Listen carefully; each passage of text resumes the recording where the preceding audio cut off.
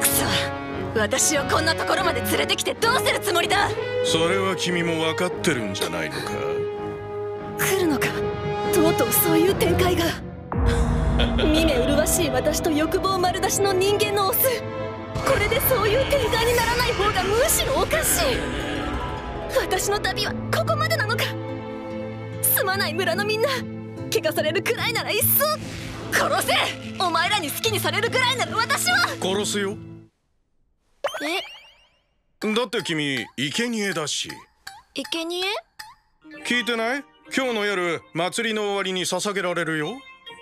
じゃあ私死ぬの?そうだよ。かわいそうにね。死ぬ?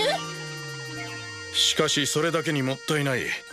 金星の取れた体知性を感じさせる瞳きめ細かな肌にバラのような頬と唇。溢れ出てとどまることを知らない気品。こんな美しい女性を見たのは生まれて初めてだ。ふん。人間にも私の美を理解できる者がいるとはな。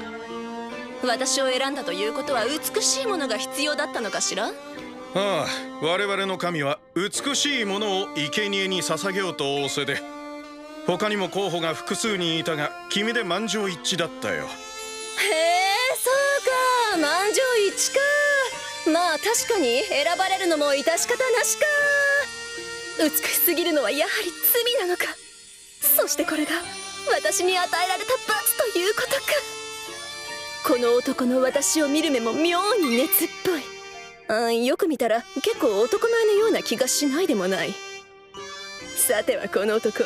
私が好きだな。あであれば私の色化で惑わしこの窮地を脱するしかないのでは。